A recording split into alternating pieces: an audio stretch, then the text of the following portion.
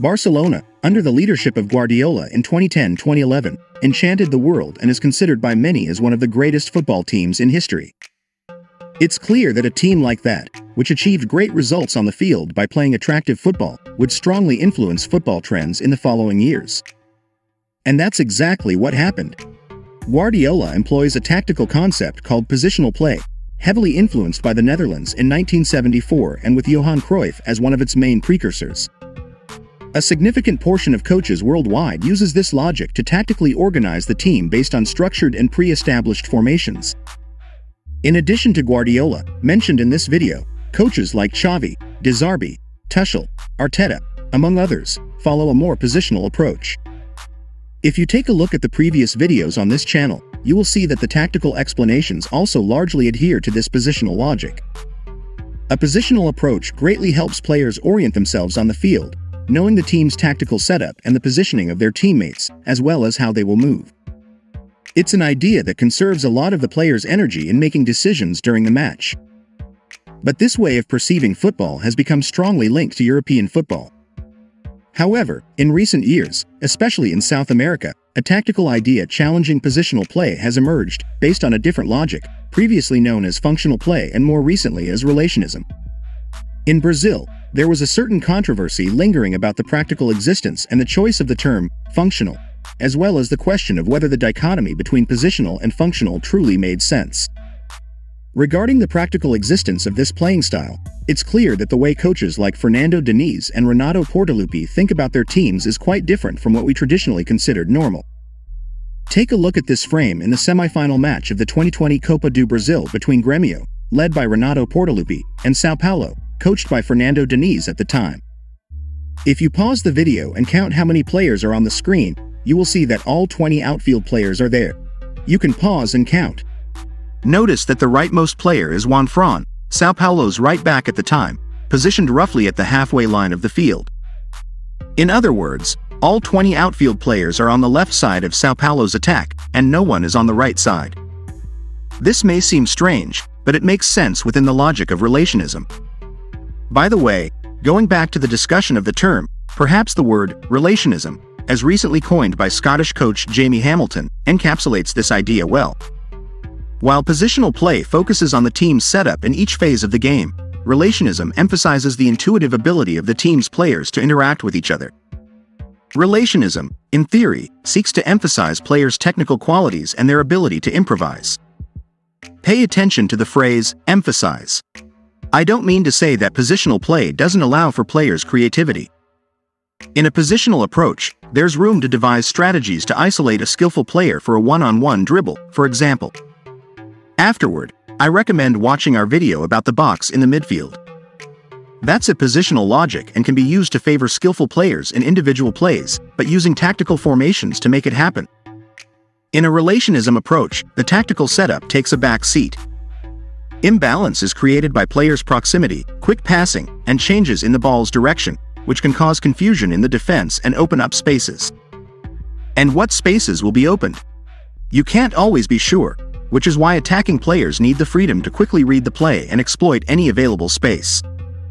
That's why, in relationism, highly refined technical skills in tight spaces and the ability to make rapid decisions are not just desirable, they are necessary. This is because, in this style of play, a large number of players often congregate in a small space, which demands technical precision to control the ball close to their feet and make quick decisions. In addition to the coaches mentioned earlier, such as Fernando Diniz and Renato Portaluppi, other coaches like Dorival Jr. from Sao Paulo, Eduardo Coudet from Internacional, and even Ancelotti from Real Madrid, can be considered to have a similar approach. This idea is highly adaptable to South American football culture, especially in Brazil, for two main reasons. The first is street football, which, despite becoming less common, is still popular in Brazil, for example. Many Brazilian children grow up playing football in often short and improvised spaces and on uneven terrain, such as streets, sidewalks, and dirt, developing the ability to improvise and respond quickly to the obstacles the playing field presents, like tree stumps, curbs, etc. In fact, one of the great admirers of street football was Cruyff himself, one of the most prominent figures in positional play, who often created training exercises trying to simulate street games. The rondo itself, which is common in training and warm-ups at top clubs, is a version of the keep-away game, also called square in other places. A second reason, this time more formal, is the popularity of another sport in South America, futsal. Futsal is a sport invented in Uruguay, very similar to football but played on a smaller court. Each futsal team has one goalkeeper and four outfield players on a court that can be up to 40 meters long by 20 meters wide, with many courts being even smaller than that in some places. For comparison, the player density on a football field is about 375 square meters per player. In an official futsal court, this density is 80 square meters.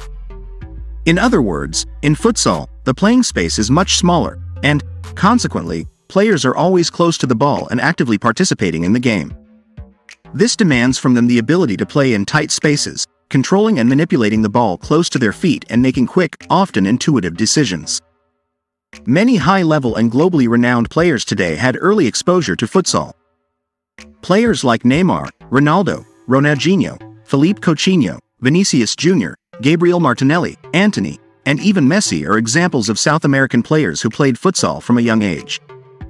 It's also worth noting that futsal is popular in some European countries, like Portugal, Spain, and Russia, and players like Xavi, Iniesta, and Cristiano Ronaldo also played futsal. The sources about these players having experience in futsal are in the description. All of this is to provide context that players with this profile strongly favor relationism. As mentioned earlier, the most obvious aspect of relationism is players crowding around the ball, enabling short passing and creating a numerical advantage for the team in possession. One point to emphasize is that, as players are in close proximity and pass quickly, the ball movements are always short, and changes in the ball's direction are constant. This often catches defenders off guard when they can't intercept the ball or make a tackle. On the other hand, the pressure on the ball area increases inevitably, requiring players, as mentioned, to have a high capacity to control the ball in tight spaces and make quick decisions. However, the clustering of players for quick and short passing is seen as an advantage in relationism, with teams often preferring to build up the play on the busier side rather than the emptier side. But, of course, not everything in relationism is pure chaos. This approach has key principles that guide players' decision-making. Combinations involving two, three, or even more players are also extensively practiced to create and exploit spaces in the opponent's defense. A basic combination commonly used is a simple 1-2 pass, with one player passing the ball and running behind the defender. However, more complex combinations can naturally arise, as long as they adhere to the principles of relationism. For example, Imagine a simple combination with three players, each marked individually. The player with the ball passes it to a teammate and advances without the ball. The receiving player passes to the third player, who quickly lays it off to the player who initiated the passing sequence and is advancing. In this scenario, the passes are rapid, and the two advanced players receive the ball and naturally attract their markers. However, their time on the ball is so brief that the markers cannot apply pressure in time, and the ball quickly returns to the first player while these two markers are caught out of position, giving an advantage to the player receiving the ball in stride. Of course, this combination doesn't have to be exclusively within a relationism logic, but it contains elements characteristic of this idea. In this imaginary example we just showed, we can also see another extremely important point. The player who passes the ball making an overlapping run. It's the famous toka e passa, or toco y me voy, I pass and go concept. Depending on the role a player has within the collective system of the team, of course, a center back wouldn't have as much freedom to do this constantly. This role is crucial for the team's progression. Passing the ball to a teammate and attacking a vacant space. But, despite combinations being a powerful weapon in relationism, players can also choose to try to unsettle the defense through dribbling, provided they judge the situation is suitable. And, of course, playing in a congested area constantly, it's natural that some ball losses may occur, but the post-loss pressure is another important aspect of relationism. As teams using this approach often attack in numbers, they can quickly establish a pressing zone near the ball loss area to attempt an immediate recovery, preventing the counterattack. There are also some texts from an anonymous writer known by the pseudonym Joseph Bozsik, who apparently coined the term functional attack. If you want, you can research his work to delve deeper into the topic. I'll stop here and I recommend you also watch our video about creating spaces. It's appearing on the screen, click and watch it now.